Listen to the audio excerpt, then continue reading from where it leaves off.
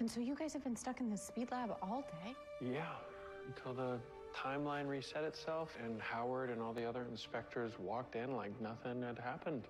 And they didn't remember a thing. No, they just went back to their jobs.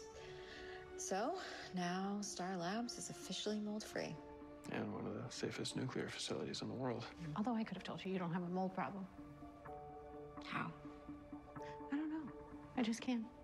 Well, we're just glad we passed the inspection after everything that's happened here the last nine years.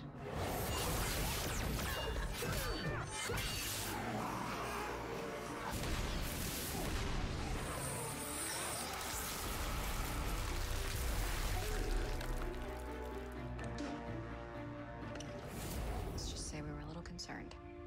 No. And what about Lady Kronos? Is any chance she got away? Guess we'll find out in a hundred years. Hey, how did it go with you and Carla? Turns out she does not want me to replace her daughters, Caitlin or Frost. She just wanted to get to know me as a friend. And she seems very wise.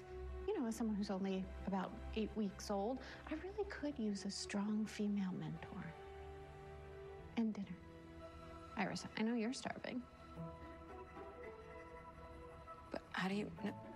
Actually, you know what? It's already super freaky. Never mind. How about we uh, get a dinner for three at Helena's? Cheese fries? Yeah. Yes, please. Sounds amazing. Do I like cheese fries? I don't know. We'll find out.